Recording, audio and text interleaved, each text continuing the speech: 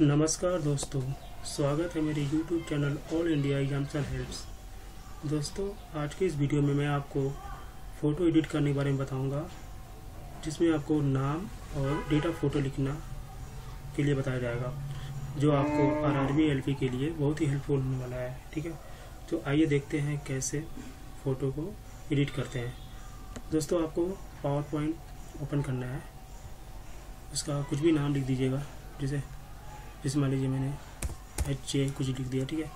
आपको एक इस तरह का बैकग्राउंड मिलेगा और आपको क्लिक करके ऑल सेलेक्ट करके डिलीट कर देना है।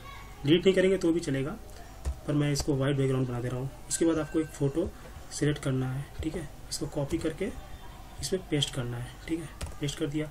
अगर आपका साइज़ फ़ोटो का साइज़ बड़ा दिख रहा है तो आपको छोटा कर सकते हैं और बड़ा भी कर सकते हैं। सबसे पहले आपको यहाँ पे फॉर्मेट दिख रहा होगा। ये फॉर्मेट में जाने के बाद आपको राइट कॉर्नर में दिखेगा आपको हाइट और विथ का। फॉर्मेट दिखेगा तो आपको इससे छोटा हो जाएगा, ऊपर वाले से बड़ा होता है, ठीक है? तो आपको छोटा कर लेते हैं, चलिए। उसके बाद आपको क्या करना है? दोस्तों, ये फ़ोटो आर के पैटर्न से नहीं है बट मैंने ऐसे डाला हुआ है बस आपको मैंने एडिट करना सिखाना सिखाना है मुझे यहाँ पे, ठीक है? तो आप देखिएगा कैसे कर रहा हूँ मैं। तो ये छोटा हो गया, उसके बाद आपको दोबारा इंसर्ट पे जाना है। ये इंसर्ट बॉक्स दिख रहा होगा आपको। इंसर्ट पे क्लिक करना है। उसके बाद आपको यहाँ पे टेक्स्ट बॉक्स दिख रहा होगा।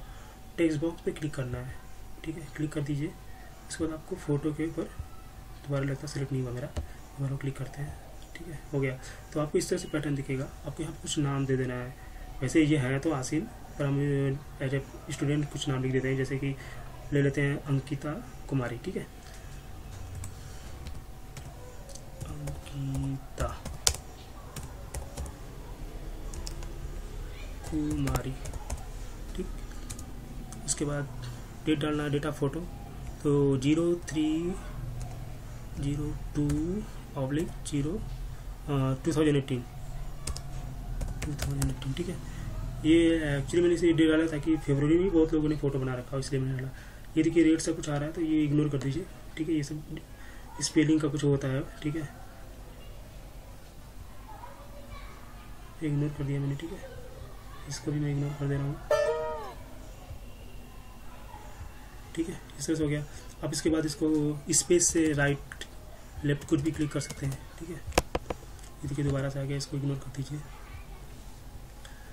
उसके बाद आप क्या करिएगा, इसको बोल्ड करना है तो आप बोल्ड कर सकते हैं। साइज़ इसका छोटा बड़ा करना है तो छोटा, देखिए छोटा हो रहा है, बड़ा हो रहा है, ठीक है? जिस साइज़ में आपको करना चाहते हैं, उस साइज़ में आप कर सकते हैं।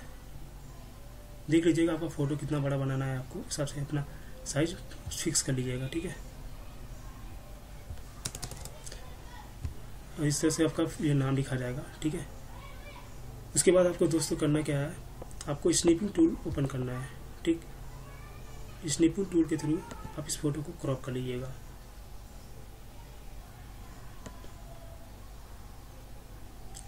ठीक है? स्नीपिंग टूल के बाद इसको इसको सेव करना रहेगा आपको। चलिए इसका नाम लिख देते हैं कुछ भी। अंकिता ही था ना, अंकिता।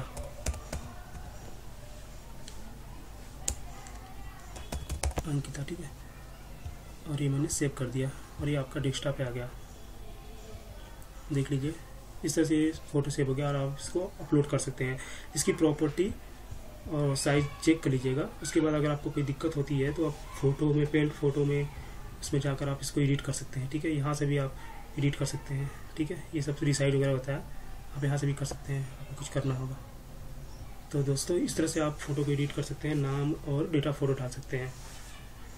दोस्तों, मेरा वीडियो कैसा लगा आपको? कमेंट बॉक्स में भी ज़रूर दीजिएगा। अगर आपको ये वीडियो अच्छी लगी हो तो प्लीज़ लाइक और सब्सक्राइब कर दीजिएगा।